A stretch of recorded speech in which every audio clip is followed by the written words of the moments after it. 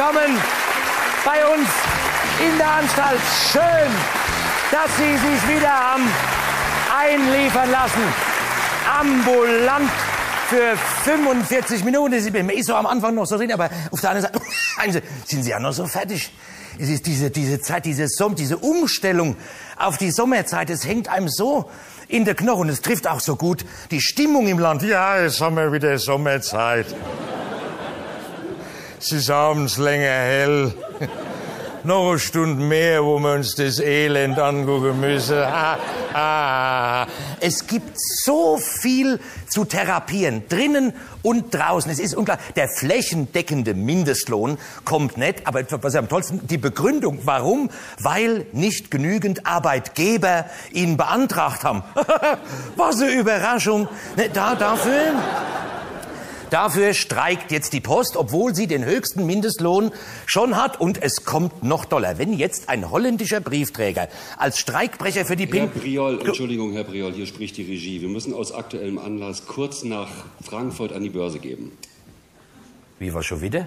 Liebe Zuschauer, wir melden uns heute noch einmal von der Frankfurter Börse, denn die Finanzkrise spitzt sich dramatisch zu.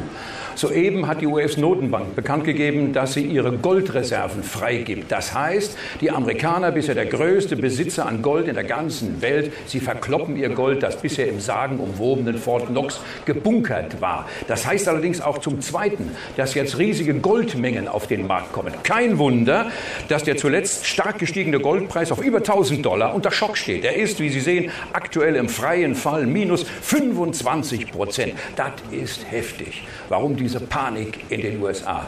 Die Amerikaner brauchen offensichtlich Geld, sehr viel Geld, um ihre Banken zu retten. Vier der fünf größten Geldhäuser stehen im Feuer, also kurz vor der Pleite. Und auch die Deutsche Bank ist mittendrin im Schlamassel. Ein Großkredit für ein Casino-Projekt in Las Vegas ist offensichtlich geplatzt.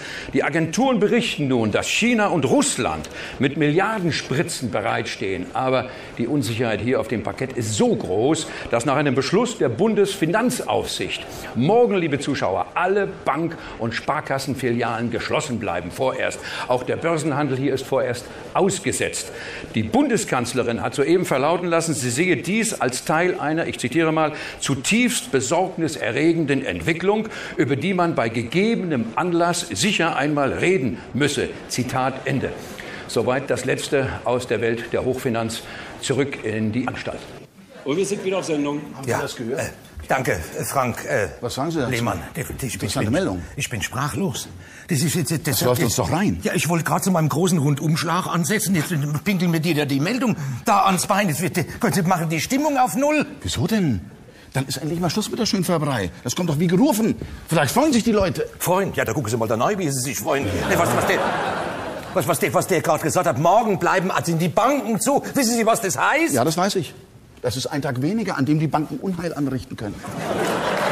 Wie ist doch in Ordnung. Freuen Sie sich doch. Das ist doch prima. Wissen Sie, was das in der Konsequenz bedeutet? Hören Sie zu. Mein Gott, Sie sind drauf reingefallen. April, April, Herr Priol. Toll. Es war ein kleiner Aprilscherz. Ja, super. Und damit macht die mir meinen Anfang. Oh, Moment mal, und was ist jetzt, wenn Leute das glauben, die Meldung, wenn, wenn die sich deswegen was antun? Ja, und? Ja, wer wird sich denn was antun? Irgendein Immobilienmakler, der vom Dach seiner Shop-Immobilie springt? Finanzanalysten, die sich mit ihrer Yacht in die Luft springen? Bravo! Nein. Was? Wie was? Nein. Wieso nein? Na, nein, Herr Dombrowski. Hm? Nein, ich denke hier an den Sozialrentner, an den, an den Arbeiter bei Opel, an die kleine Hausfrau mit dem Sparbuch. Jetzt mal im Ernst, Herr Priol. Ich habe mit diesem Scherz aufrütteln wollen. Wenn eine solche Meldung an einem x-beliebigen Tag kommt, dann wird doch keiner mehr überrascht, oder? Nein, wahrscheinlich nicht, aber es hätte mir heute nicht meinen Anfang versaut. Also hören Sie mal auf, rum zu lamentieren. Wenn morgen früh im Radio die Meldung kommt, äh, äh, die SPD hat ihre Auflösung beschlossen. Ja, na, da wäre ich schon überrascht, weil seit wann ist die SPD wieder beschlussfähig? Hören Sie, es gibt, es gibt, immer müssen Sie Ihre Taler Sehen Sie, es gibt existenzielle Schwierigkeiten. Ja, ich weiß, Banken, Börse, Beck, das wissen wir doch. Richtig. Und ausgerechnet in dieser Situation kommt der BND mit einer Eilmeldung und behauptet, der Dschihad steht vor der Haustür. Wollen wir ihn reinlassen? Das ist nicht witzig jetzt, Herr Prior. Der, der BND, ja, der, der, der, der, der, der BND der hat Erkenntnis, dass der Dschihad vor unserer Tür steht. Sagen Sie. Der gleiche BND, der den Amis vor fünf Jahren gesteckt hat, dass der Saddam Massenvernichtungswaffen hat, Richtig, oder? genau. Äh, Das, oh, das, gut, dass Sie sagen. Äh, Wir haben auch noch Jubiläen abzuarbeiten heute Abend. Wir haben fünf Jahre Irakkrieg. Na, Frieden, Frieden eigentlich, sagte Ja, Bush. ist ja gut. Jedenfalls fünf Jahre. Dann haben wir fünf Jahre äh, Agenda 2010. Das war eine gute Sache, nicht? Eine, groß, eine großartige Niederlage für die Sozialdemokratie.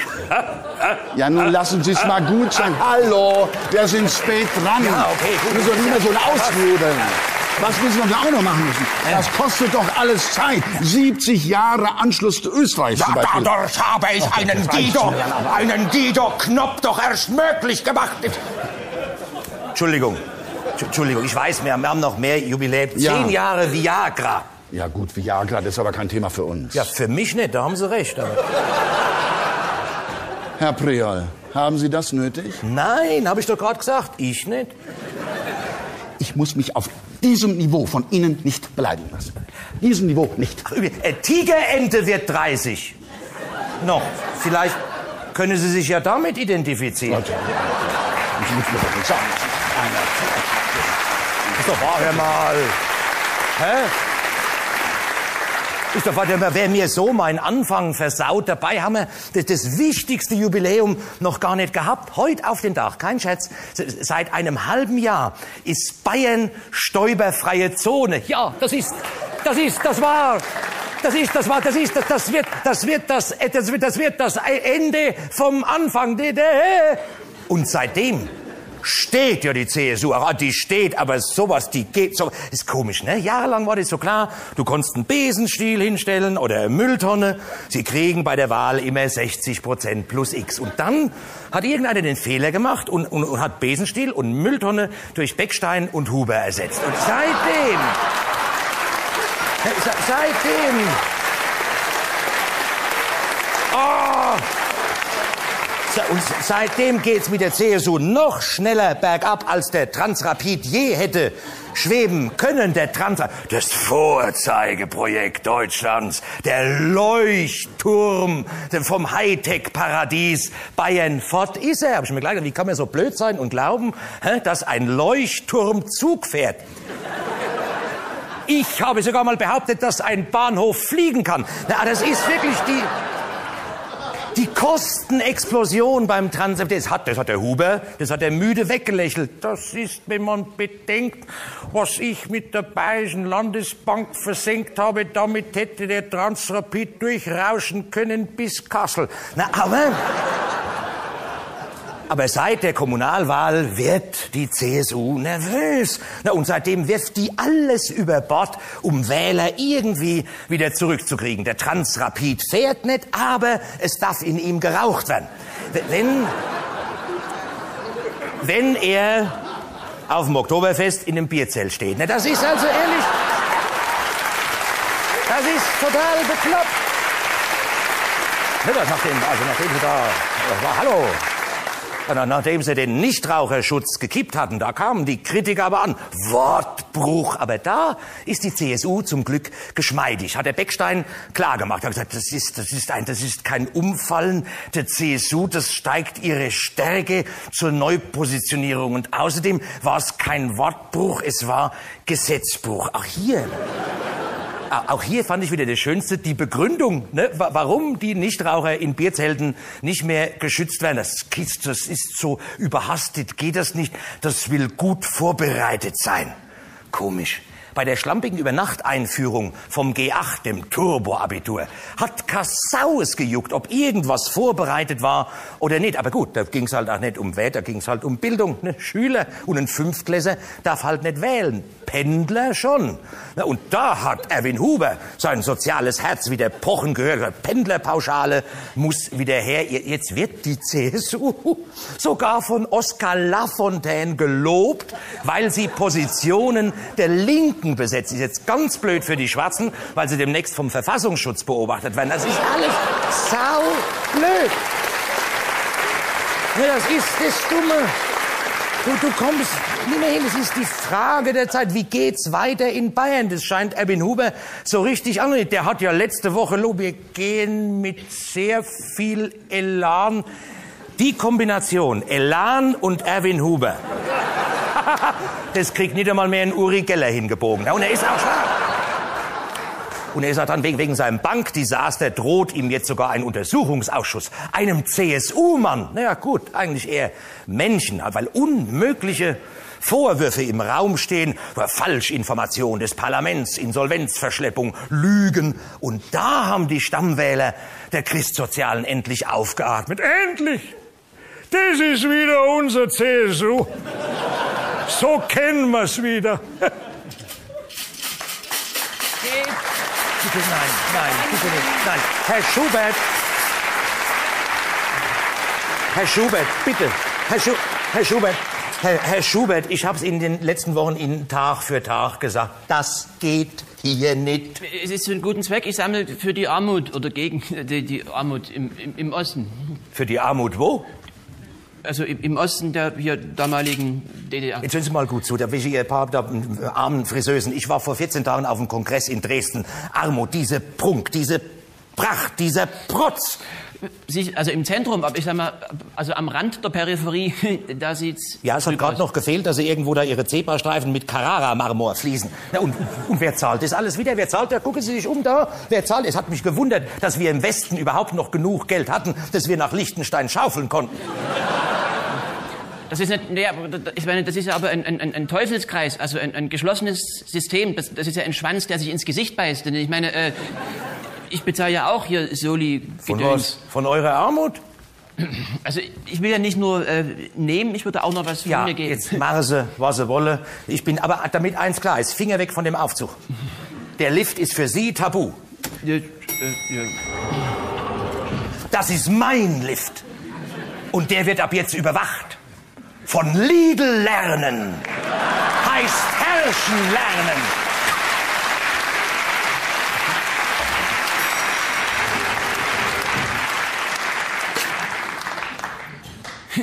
Zustände.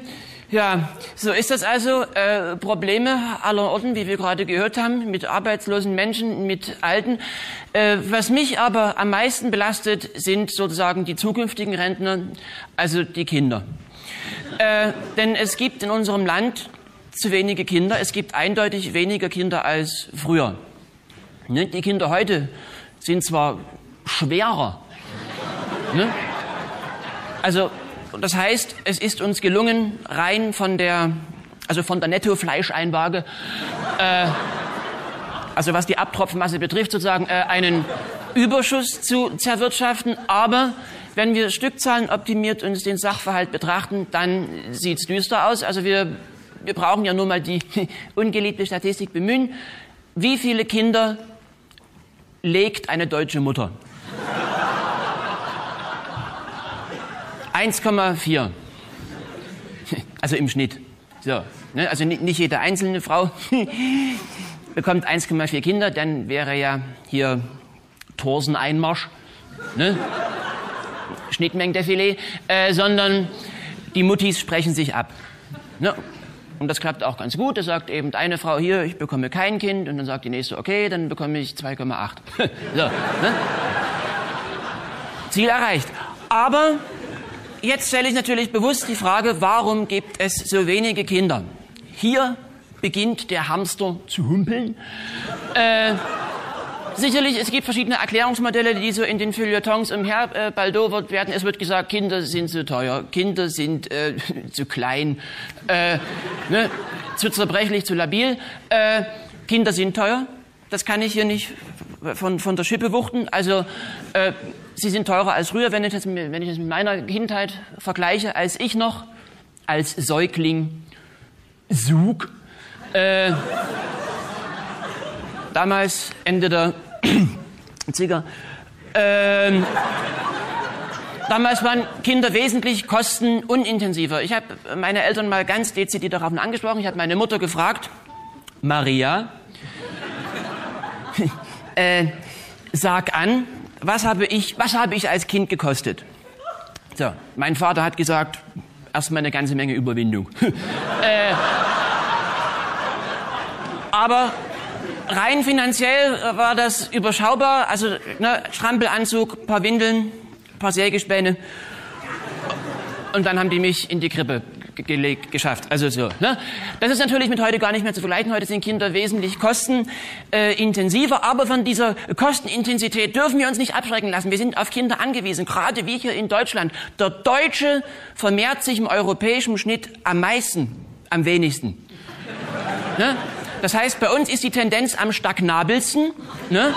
Uns ist ja nicht nur so, dass wir wenige Kinder haben, sondern die wenigen Kinder, die es gibt, die werden ja auch immer älter. Ne? also die brechen uns weg. Das führt dazu, dass die Bevölkerungspyramide im Unterbau bröckelt. Also das Fundament für die Basis sackt ein und oben spleißt's im Zwickel.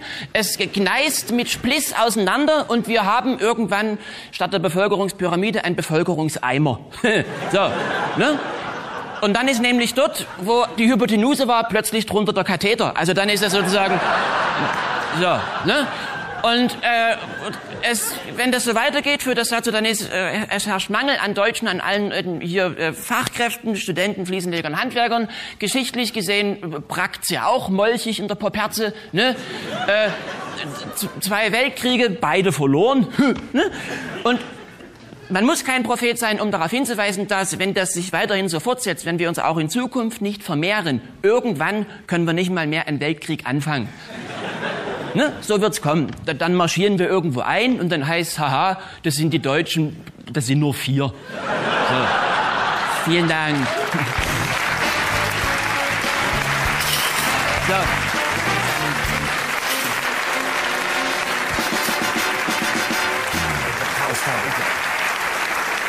Doch gar kein, von der Los, das hat doch gar keinen Ausgang. Aber ich wusste ich, wo habe ich denn jetzt mein Zengelchen hin?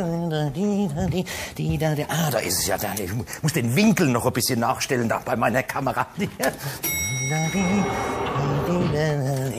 Herr Priol, jetzt habe ich eine richtige Meldung für Sie. Das war kein Ab... Was machen Sie denn da? Ich? Nix. Nix. Äh, ist was kaputt? Äh, nein, äh, äh, Energiesparlampen. Ich, äh, ah, ich will äh, ja. Energiesparlampen ja. anbringen. Ja, ich habe eine interessante Klima. Meldung. Kennen Sie die schon? Roland Koch wird offensichtlich kleinlaut jetzt. Boah, der? Na, ja, doch. Nicht. Ich habe so in der Zeitung gelesen, und zwar gestern, nicht am 1. April. Roland Koch sagt, er habe keinen Regierungsauftrag für Hessen im klassischen Sinn. Ja, das sagt er aber nur, weil äh, seine Fraktion 200.000 Euro Oppositionszuschuss beantragt hat. Ist nicht wahr. Doch. Die wollen weiter regieren und Oppositionsgeld gleichzeitig. Ja, manchmal denke ich ja, du kannst ja nur noch die Kugel geben im Land. Ja, das stimmt. Ja. Aber machen Sie es nicht. Naja, treffen Sie nicht richtig und sind bloß blind. Das, na, ich würde, wenn er, nein, er macht es ja nicht ernst. Wenn er es ernsthaft vorhaben wollte, meine Damen und Herren, da wüsste ich was Besseres für ihn. Ähm, ist neu auf dem Markt. Haben Sie schon gehört davon? Die Tötungsmaschine nach Dr. Kusch. Ähm, ist interessant. Ist ganz frisch auf den Markt gekommen. Ich habe sie hier, schauen Sie mal. Das ist die Tötungsmaschine nach Dr. Kusch. Das dahinter, das ist äh, Dr. Kusch. Ähm, er ist Vorsitzender des Vereins Roger Kusch Sterbenshilfe e.V. Ich weiß nicht, erinnern Sie sich an ihn? Ja, äh, Kusch war Justizsenator und äh, Lebensgefährte unter Ole von Beust. Ähm, zu Zeiten, als uns Ole mit Hilfe von Barnabas Schill, einem koksenden Rechtspopulisten in Hamburg eine Regierung gebildet hat. Und zwar ohne Wortbruch. Ganz ohne Wortbruch. Nicht? Das hanseatische Bürgertum ist berühmt für seine Toleranz. Nicht? Ähm, also diese Maschine übrigens nicht, ähm, die injiziert auf Knopfdruck automatisch Gift. Die Tatherrschaft liegt bei Ihnen als Kunde.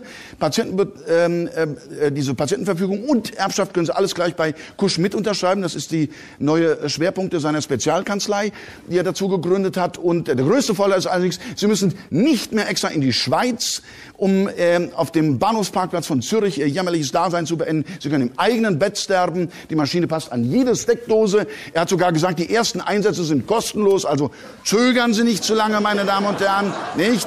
Das, ähm, gut, ich gebe das zu, die sieht jetzt nicht gerade prima aus, die Maschine, aber das sollte Sie nicht abschrecken, das ist der Prototyp.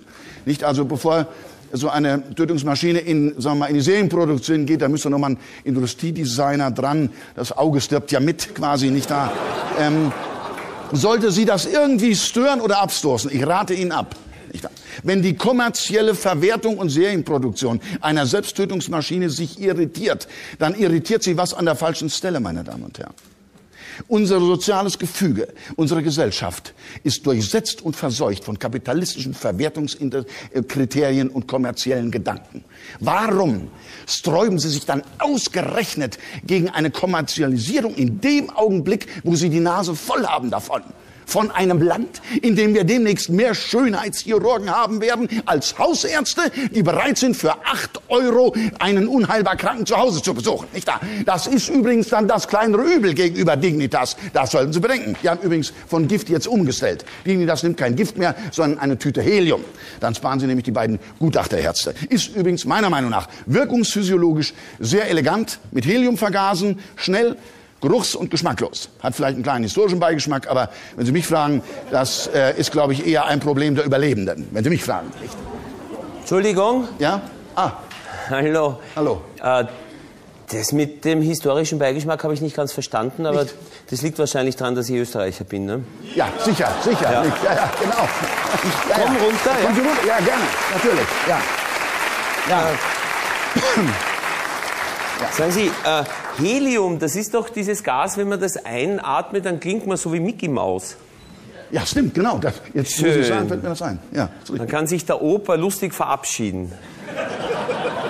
Ja. Wenn er so sitzt vor die Enkelkinder mit der Tüte am Kopf und röchelt ein bisschen wie in einem Zeichentrickfilm. Ja, aber stellen Sie sich mal vor, die Hinterbleibenden lachen dann alle dann denken Sie, die freuen sich auch noch. Das ist das Letzte, was Sie wollen. Ja, ich würde mich sowieso ganz anders umbringen. Setzen wir uns hin? Ja, gerne. Schönes Thema. Ich, ich würde es äh, so machen. Schauen Sie her. Pulsader aufschlitzen. Der Länge nach? Ja, natürlich der Länge, sonst haut es nicht hin. Blut spritzt heraus. Mir graust vom Blut. Ich kotze in die Arterie und krieg Blutvergiftung. Jetzt, äh, na gut, das ist ein schöner Gedanke. Aber äh, ich darf Sie darauf hinweisen, dieser Längsschnitt erfordert sehr viel Kraft. Ob Sie die am Schluss noch haben? Ja. Nicht das. das ist ja der Fehler, dass sich die Leute immer umbringen, ganz am Schluss, wenn sie keine Kraft mehr haben. Man muss sich früher umbringen. Ja? Man muss sich umbringen, wenn das Leben im Grund gelaufen ist. Ja. Aber die unheilbare Krankheit ist gerade noch nicht da. Oh. Ja, also für Sie wäre jetzt gerade genau richtig. Für mich? Ja. Dankeschön. Vielen Dank. Sehr oder, freundlich. Oder haben Sie Angst vom Tod? Ich? Nein, wieso? Der Tod, das der Tod kann ein sehr großer Moment sein. Also, wenn die letzten Worte nicht gerade nach Mickey Maus klingen. Na dann, was hält Sie noch? Mich? Aha. Ich, ähm, es gibt noch einen Haufen Leute, die meinen Hass verdient haben. Wissen Sie das? Und, und, wenn ich ganz offen sein soll, ich möchte auch meine Rentenbeiträge gern selber aufessen. Verstehe, die wollen Sie nicht verfallen lassen. Nein. Ein bisschen wie im Kino. Kino? Ja, man bleibt sitzen, auch wenn der Film schlecht ist. Man hat ja Eintritt bezahlt. Ja. Und es könnte noch irgendwas kommen, so eine Schlussüberraschung. Naja, Gott, also sagen wir mal, ein Selbstmord und man überrascht sich selber damit, das ist eher schwer, nicht? Geht gar nicht. Ja. Doch, doch, obwohl. Wenn Sie zum Beispiel mit einer spontanen Eingebung plötzlich sich vor die U-Bahn werfen. In Wien geht es nicht, bis da eine kommt. Ach so, ja, ja. Da werden Sie alt und sterben von selber vorher. Ja, und, und, und. Nein, nein. Mein Lieblingsselbstmord, my favorite suicide, ja. ist, ich gehe hinauf auf einen Berg mit einer Wodkaflasche, sauf mir an, hau mir in den Schnee, schau zu den Sternen und erfriere ganz sanft. Das ist eine unsichere Methode beim Klimawandel, nicht? Also könnte ein unsanftes Erwachen geben am nächsten Frühlingsmorgen, nicht? Stimmt. Ja. Okay, anderer Vorschlag. Ich bin auf einem Schiff mitten im Meer ja. und spring in der Nacht hinein von einem Kreuzfahrtschiff in der Nebensaison. Ja gut, aber wenn mich dann jemand sieht, nicht? schreit Mann über Bord, weckt alle auf, stellen Sie das mal vor, ist doch peinlich. Nicht? Ein missglückter Selbstmord vor 500 verschlafenen Kreuzfahrtrentnern. Und am nächsten Tag muss ich mit denen wieder Mittag essen. Da, da hätte ich dann wirklich einen Grund zum Selbstmord. Ich, dann schon. Sie bringen sich sowieso nicht um. Ich glaube, Sie reden nur gern drüber. Sie sind so ein typischer Wiener. Typischer Wiener? Ja, ein bisschen. Ja. Das war jetzt etwas unpassend, wenn ich das sagen darf. Nicht? Okay. Es gibt Dinge, die kann man sagen, es gibt Dinge, die kann man nicht sagen. Typischer Wiener kann man nicht sagen. Jetzt sind Sie wieder, jetzt sind Sie wieder beleidigt, das ist so typisch deutsch. Ein Österreicher kann mich gar nicht beleidigen. Ich bin Preuße, guter Mann. Und Preußen weiß, was es von Österreich zu halten hat. Preußen war immer gegen den Anschluss Österreichs. Immer schon, nicht wahr? Bismarck hat es immer schon gewusst. Hitler war die Rache für König Grätz, nicht wahr? Das Unheil kommt immer aus dem Süden. Das hat Bismarck immer schon gesagt. Das war doch eindeutig. Jeder hat es gewusst. Und Einheitsverkauf sein. Ja, das müsste man dem mal sagen. Diese Hallo, Es tut mir wirklich leid, ich vergreife mich immer im Ton. Furchtbar. Immer mache ich was falsch. Vorige Wochen zum Beispiel war dieses Benefiz ähm, für zuckerkranke Kurden. Und ich gehe zum Buffet und frage, ob sie türkischen Honig haben. Schrecklich. Diese Kurden schauen einen an, unfreundlich, wie Kurden halt schauen, typisch kurdisch. Eigentlich noch unfreundlicher wie Kroaten. Kroaten sind natürlich genauso unfreundlich wie ähm, Franzosen. Äh, oder Ostösterreicher. Kennen Sie Ostösterreicher? Dieses teigige, pickelige Gesicht mit den wässrigen Schweinsaugen und im Gesicht drinnen dieses Nein. Gibt's nicht, haben wir nicht, war noch nie, fangen wir uns auch nicht an. Ostösterreicher. Ich finde, Vorurteile sind super. Ja? Man kann nicht einmal aufstehen ohne ein Vorurteil. Irgendwas müssen Sie annehmen, was Sie nicht wissen, sonst stehen Sie gar nicht auf. Ne? Zum Beispiel irgendein Klischee, typisch Frühstück. Oder was ist typisch deutsch? Das ist leicht, typisch deutsch ist Hitler. Ne? Typisch österreichisch ist Beethoven. Äh, typisch amerikanisch ist äh, blöd sein, fett sein und nichts wissen. Ja, ist klar, die Amerikaner wissen nichts, weil sie so ein schlechtes Schulsystem haben, weil dort die Allgemeinbildung viel zu früh abgebrochen wird, teilweise auch durch die Todesstrafe. Ne? Die Amerikaner sind schuld an allem, an fast allem und an, wo die Amerikaner nicht schuld sind, sind die Rentner schuld. Die Rentner sind überhaupt schuld, weil sie zu viel kosten und weil sie im Supermarkt immer hinter dir stehen und schreien, zweite Kasse aufmachen, immer. Immer Rentner. Immer Rentner. Zweite Kasse. Sage ich, bitte, Frau, brüllen Sie mir nicht ins Genick. Zweite Kasse aufmachen. Sage ich, bitte, dann gehen Sie noch vor. Ich verstehe das, Sie haben nicht so viel Zeit, Sie haben nicht mehr lang zu leben. Bitte, gehen Sie noch. Ne? Rentner sind schuld, Amerikaner sind schuld und ähm, Kurden und Delfine. Delfine sind das Letzte. Delfine sind so Streber, Angeber, oder? Delfine sind wie Kabarettisten. Möglichst elegant durchs versiffte, verträgte Meer gleiten und blöd schnattern und so hohe Beliebtheitswerte. Jeder liebt ihn, den klugen Delfin, in dieses falschen Grinsen, was die haben. Man müsste nur mehr Thunfischdosen kaufen, wo mit jedem Thunfisch mindestens drei Delfine umgebracht werden. Delfine sind schuld, Kurden, Amerikaner und Katzen. Wie viele wie viel Menschen in Afrika könnten bitte überleben mit unserem Katzenfutter? Ich sage immer zu meiner Frau, sage bitte, es ist so krank, in einer Stadtwohnung ein Tier zu halten, das dermaßen ätzende, konzentrierte, stinkende Würstel herauspresst, wie diese blöde, blöde, fette Katze, die du zehnmal am Tag fütterst, nur weil du Hunger hast vor deinen Scheißdiäten. Die kotzt schaut aus wie ein Kugelfisch. Das ganze Fett, das du dir nicht gönnst, ist auf der Katze oben. Die wird immer dicker, du wirst immer dünner. Der ganze Gesicht ist schon eine Landkarte deiner Frustrationen. Nur um deinen Hintern zu retten, hast du jetzt einen Schrumpfkopf. Rentiert sie das? Daraufhin, ich war, ich war völlig überrascht, schaut meine Frau komisch. Ist irgendwie unrund, kriegt so glitzernde Augen. Ich sag, hast was? Was hast denn? Puppe. Hast was? Sie sagt, nein, ich habe eh nichts. Ich finde total toll, dass wir so ehrlich miteinander umgehen. Sag ich, klar, geh ehrlich um mit dir, weil du mir wurscht bist. Na, es ist nicht leicht. Wer ist schuld? Die Katze, meine Frau, der Kurde an sich? Ich würde sagen, wir wissen es nicht. Ich finde schick, in einer Kabarett-Sendung einmal zu sagen, wir wissen es nicht. Sagen wir einfach, wir wissen es nicht. Oder? Ah, Entschuldigung. Na, Herr Doktor, Gott sei Dank, dass ich Sie treffe. Ja, sagen Sie, sind, äh, sind es Schübe bei Ihnen oder haben Sie das öfter? Heute ist mir so irgendwie so, so, so, ähm, So irgendwie, Ja. irgendwie. Oh, gegen irgendwie haben wir hier ganz tolle Sachen. Gegen, gegen irgendwie ist super es fängt in der Früh an, in der Früh, wenn ich aufstehe, Morgendepression, die Decke im Schlafzimmer erdrückt mich fast. Ja, wird es Steppdecke sein wahrscheinlich. Dann müssen Sie sich irgendwas Leichteres nehmen. Und, halt. und, und, und dann schaue ich beim Frühstück in den Kaffee und, und, und der Kaffee ist schwarz und ich habe sofort trübe Gedanken. ja, Sie könnten ja vielleicht mal ein bisschen Milch in den Kaffee tun. Das ging ja auch. Habe ich ne? probiert, aber mit Milch ist dann der Kaffee so deprimiert, weil ich ihn nicht so akzeptieren kann, wie er ist. Ja, äh, äh, kennen Sie den Film? Kennen Sie den Film Einer flog über das Kuckucksnest? Na? Da haben wir auch ganz wunderbare Methoden hier.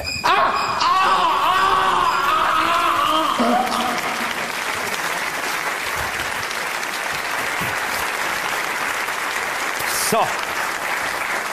Es ist erledigt. Ein Fall gelöst. Nein, es ist, ist bei mir geht's ja erst komisch. Wenn- Jedes Mal, wenn ich äh, einer flog über das Kuckucksnest anguck, muss ich schon wieder an unsere Kanzlerin denken. Ich, ich kann mir nicht helfen, ehrlich, aber je, je öfter ich was von der Alten höre, ne, de- desto mehr sehe ich immer nur noch Schwester Ratchet vor mir stehen. Gibt's noch etwas, was Sie der Gruppe mitteilen möchten, Mr. McMurphy? Aber Schwester Ratchet hat wenigstens noch eine klare Linie gezackert. Das hat ja unsere Kanzlerin gar nicht mehr nötig. Ne, Sie muss ja gar nichts machen. Sie wird hochgejubelt von ihr. Sie macht nichts falsch, schreiben ihre Hofberichtbestatter, weil sie nichts macht. Ne, Sucht ab und zu mit der Lupe nach der SPD und freut sich schön, wenn man keine Gegner mehr hat. Die Frau hat ein Glück, das ist unglaublich. Hängt den ganzen Tag nur noch ab in ihrem Netz wie die Spinne Thekla in Biene Maya.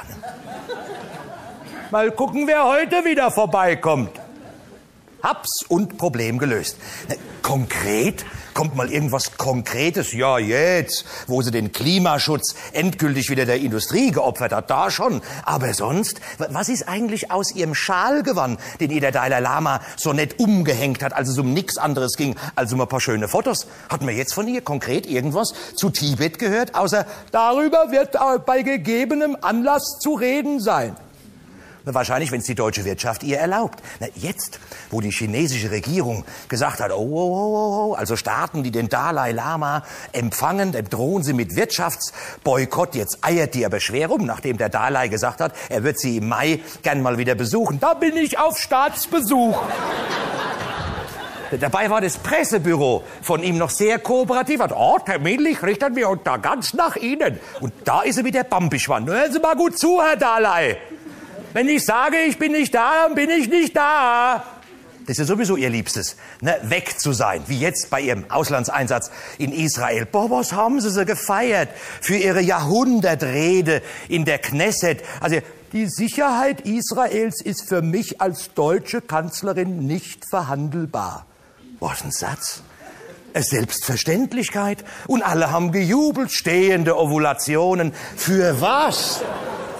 Für, für was? Für das übliche Politgeplapper mit der Strahlkraft von einem Beratungsgespräch einer Fachverkäuferin für Funktionsunterwäsche. Wir sind mittlerweile, wir sind mittlerweile in diesem Land mit so wenig zufrieden. Gut, bei ihrer Präsidentenerfindung, Horst Köhler, haben ja auch alle, als er seinen Antrittsbesuch in der Knesset gemacht hat, nur den Schweiß, hinter er sich von der Stirn gewischt hat. Gott sei Dank, er hat uns nicht blamiert. Ist es nicht das Mindeste, was man von seinem Staatsoberhaupt erwarten kann? Wovor hatten sie einen Schiss? Dass er in die Knesset rumpelt von wegen eins vorneweg. Beim Adolf war nicht alles schlecht. Nein, nein, es ist viel. Aber vier Fünftel, aber vier Fünftel der Bevölkerung wünschen sich von ihm eine zweite Amtszeit. Warum? Weil er Position bezieht. Was hätte dieser Mann aufrütteln können in den letzten Wochen? Liechtenstein, äh, Rentenbetrug, Lohndumping, Aufschwung, der bei niemandem ankommt. Aber was kommt? Nix. Und da sagt sich das Volk, ja, den lassen wir wieder wählen. Der tut nix. Der will nur spielen. Und ausgerechnet Guido Westerwelle hat sich jetzt als erster stark gemacht für eine zweite Auszeit, äh, Amtszeit, Amtszeit von Horst weil er wahrscheinlich, weil er sich sagt, dieses Land braucht noch einen zweiten Mann ohne Eigenschaften. Im Grund genommen, im Grund genommen hilft in dem ganzen Ding nur noch beten. Aber da ist ja nichts mehr, wie es mal war. Na, die Gunst für unseren großen Volkspapst Benedikt rauscht rapide in den Keller, weil er die Kirche so nach hinten bringt. Na, aber, aber sein, sein Ostersegen war schön, oder? Hä? Wie er da im Schnürl regnet, Urbi, Orbi und der Weißbier, bitteschön. Na, dass er sich da wenn er sich da wenigstens mal mit der Realität auseinandergesetzt hätte und einfach begrüßt mit Scheiß Wetter heute. Na, nix war, nichts. Gabriel, Mission accomplished. Das Referat ist fertig. Nee, Darf äh, ich? Nein, da bin ich jetzt wieder. Ja, aber Sie haben es doch selber. Nee, ja, aber ich, ich hatte jetzt, das ist, ich hatte jetzt Merkel und Köhler und der Papst, da muss ich mir Sie nicht auch noch antun. Das ist, da machen Sie es doch für die Sie haben mir das Referat, Referat doch selber genehmigt. Sie werden dran glauben. Darf ich mich kurz vorstellen. Sanftleben, Oberstleutnant, habe anstaltsintern eine kleine Fortbildung vorbereitet. Thema heute Karte, Fünf Jahre Irak, Krieg oder Sieg.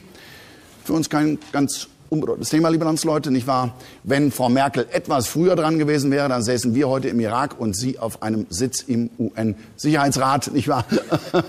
Oder anders ausgedrückt, wer mitreden will, muss bereit sein, Opfer zu bringen. Politiker reden mit, wir bringen die Opfer. Schauen wir uns das Ganze mal an. Tabelle. Wir haben hier die üblichen Werte, die brauche ich Ihnen gar nicht vorzustellen, die sind Ihnen bekannt. Etwas Interessantes vielleicht ein paar Spezialwerte für Fachstrategen, nämlich die sogenannten Relation Indizes zum Beispiel hier den ersten, den ich Ihnen vorstellen möchte, ist der sogenannte ZOF, Cash Oil Flow. Das ist die Relation von Kriegskosten zu Ölproduktion. Liegt derzeit bei 100 Dollar pro Barrel Öl. Ziemlich genau das, was auch in Rotterdam auf dem Sportmarkt verlangt wird. Prima, könnten Sie jetzt sagen, nicht wahr? Da haben die Amerikaner ja gar nichts draufgelegt. Schöne Idee, aber falsch gerechnet, Landsleute, denn das haben sie ja schon bezahlt, bevor das Öl überhaupt kommt. Das müssen sie nochmal bezahlen, haben sie schon einen Riesen hingelegt. Ja, also ein Sieg sieht anders aus, würde ich mal sagen. Vielleicht hat aber Herr Bush denselben Rechenfehler gemacht.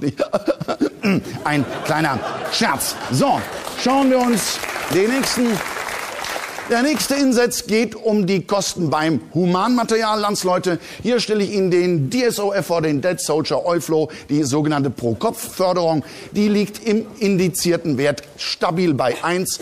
Zwei tote Soldaten pro Tag, entsprechend zwei Millionen Barrel Öl, also ein solide Eins, das ist übrigens absolut betrachtet ein sehr schöner Wert. Zwei tote Soldaten am Tag, das ist für einen Bodenkrieg allererste Sahne. So viel werden an der Heimatfront allein in Washington jeden Tag erschossen. Sie sehen, es ist alles relativ, nicht da? Ja, das ist Einstein. Nicht? Wenn neben Ihnen jemand tot umfällt, dann wirken Sie relativ lebendig, nicht wahr? ja, war. Ja, nein, ist ja schon gut. Ich, das war. Sie nehmen es mir. Ich denke, ich denke, Sie nehmen es mir nicht übel. Ich sehe ja, dass Sie krank sind. Kleiner Scherz. Na gut, ähm, Landsleute, einen anderen Index sollten wir uns unbedingt noch ansehen. Das ist ein Klassiker, nämlich der sogenannte HDC PCPA, der Human Capital Exit Percent per annum. Das ist die Relation zwischen Mortalitätsrate und dem eingesetzten Humankapital. Im Irak sind das 150.000 Stück. Hier haben wir einen äußerst stabilen Wert beim AC HCE von 0,5. Das heißt konkret, die Amerikaner verlieren in jedem Jahr nur 0,5 Prozent der eingesetzten Truppen. Da kann man, weiß Gott, nicht meckern. Die Wehrmacht hätte sich totgelacht bei diesem Index. in Relation übrigens äußerst interessant. Wir schauen noch mal in Afghanistan rein. Tabelle. In Afghanistan schauen wir uns den HCE an von allen Ländern. Hier ist nämlich Spitzenreiter einsam ganz vorne Kanada. 1,2, ein beachtlicher Wert. Die Amerikaner genauso hoch im Verlustindex wie auch im Irak. Äußerst interessant. Deutschland, können Sie erkennen, weit abgeschlagen, unter ferner Liefen, kleiner 0,1, also noch nicht mal im Promillbereich. Gilt übrigens alles wohlgemerkt nur für die Toten der eigenen Seite. Die einheimischen Verlustzahlen werden überhaupt nicht gezählt. Die werden zum Jahresende grob geschätzt. Um nun, liebe Landsleute, unserer Bundeskanzlerin einen Platz im Sicherheitsrat zu verschaffen oder etwa bei der NATO bei der Änderung der amerikanischen Haut drauf Strategie mitreden zu dürfen, müssten wir unsere deutschen indizierten Verluste um das Fünffache geschätzt anheben. Das, wissen wir alle, können Sie nachvollziehen, natürlich nüchtern betrachtet, ist nicht zu machen. Nicht mit unserer Truppe. Unsere Hardware ist veraltet, die Software übergewichtig, der Auftrag weder Fisch noch Fleisch und es fehlt letztlich auch am Esprit. Das kann ich Ihnen beweisen. Bild dazu, nicht wahr? Wir haben keinen Prinz Harry, meine Damen und Herren. Bild hat Prinz Harry in Afghanistan besucht. Kommentar Bild, er lebt gefährlich, dreckig, spartanisch, aber Harry sagte zu Bild, mein, Frontal, mein Frontalltag ist einfach toll. So sieht's bei den Engländern aus. Wir liebe Landsleute, wir haben keinen Prinz Harry. Unsere Prinzen heißen Ernst August und die machen sich nur noch dreckig, wenn sie sich im Suff ans eigene Bein pinkeln. So ist die Lage. Schönen Abend noch. Wiederschauen.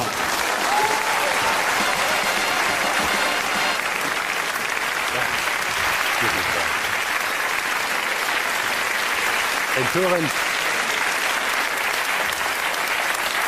Empörend. Empörend, wirklich. Das ist empörend. Wir werden gar nicht mehr selber empört. Wir müssen empört werden, permanent. Wir kriegen immer neue Sachen raus. Vor drei Wochen haben wir rausgekriegt, dass Tibet seit 50 Jahren besetzt ist. Das schreit nach einem Untersuchungsausschuss. empörend. So kriegen wir die ganzen Jahre rum mit Untersuchungsausschüssen, mit Ablenkungsdebatten, mit Scheindebatten. Wir werden immer hingehalten, beschäftigt. Das Volk muss beschäftigt werden, egal womit. Wir kriegen Strohpuppen hingehalten immer, dann kümmern wir uns drum. Avatare, Voodoo-Püppchen werden uns hingehalten und jeder kleine Stammtisch darf mal seine Gabel reinstecken und denkt, er hat mitgeredet. Hm?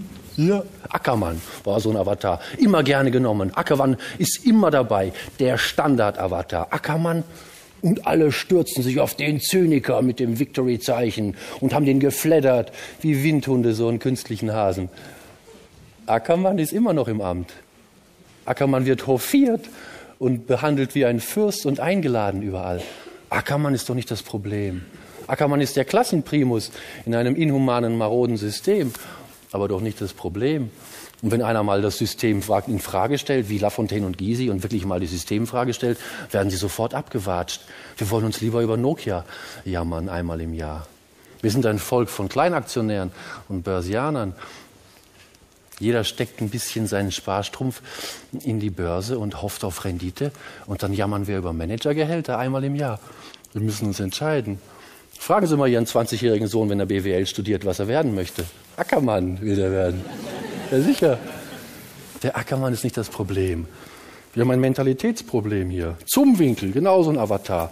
Zumwinkel war in der, in der Presse und sofort war verdrängt, dass die Landesbanken gerade Milliarden vernichtet haben. Zumwinkel, lass uns doch lieber mal um die Millionen vom Zumwinkel kümmern. Was kümmern uns die Milliarden der Landesbank? Und Zumwinkel war sofort in den Schlagzeilen. Zumwinkel ist nicht das Problem. Wir sind ein Volk von Steuerhinterziehern. Zumwinkel wurde für unsere Sünden hingerichtet am Kreuz. Wer ohne Sünde ist, wer für den ersten Steuerbescheid hier. Ja, ja sicher. Zumwinkel ist nicht das Problem. Überhaupt nicht. Gar nicht. Es ist die Gier. Es ist unsere Gier. Wir müssen uns mal entscheiden, was wir wollen. Wir können nicht jammern, dass die Kinder an Alkopops krepieren und der nette Günther Jauch säuft für den Regenwald. Das geht nicht. Wir können nicht jammern, dass die Eisbären absaufen und der nette Herr Kerner macht Werbung für Air Berlin Billigflieger. Das sind die netten Turbokapitalisten von nebenan. Familienkompatibel. Die können sich auch ganz locker unterhalten mit so einem Hartz-IV-Empfänger. Kein Problem. Der Zumwinkel, der wurde abgeführt wie ein Serienkiller. Und der Michael Schumacher sitzt in der Schweiz und freut sich ein zweites Loch in den Arsch. ja, ja. Das sind. Ja, sicher. Das sind unsere Helden. Ja, klar.